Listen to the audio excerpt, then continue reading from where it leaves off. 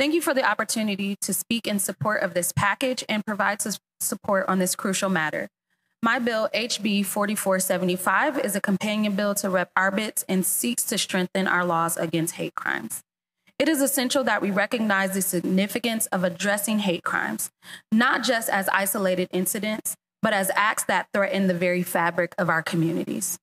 It is imperative that we strengthen our legal framework and send a clear message that our state is committed to protecting the rights and dignity of every individual, regardless of who they love, who they worship, what they look like, where they come from, or what abilities they have.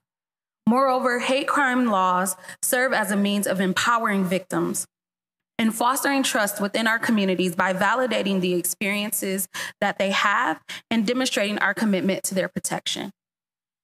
This encourages individuals to come forward, report incidents, and actively participate in the pursuit of justice.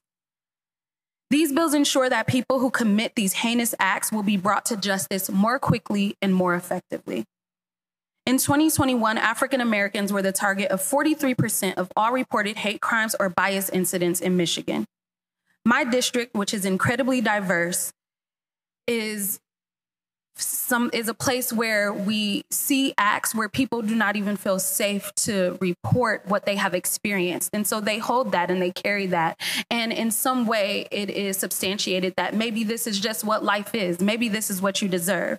These bills say that that is not true that we take these crimes seriously and that you do not have to be a victim of something like this I am honored to stand with Rep. Arbit and Rep. Puri in leading on legislation that seeks to protect my constituents, my community, my family, and so many others across Michigan.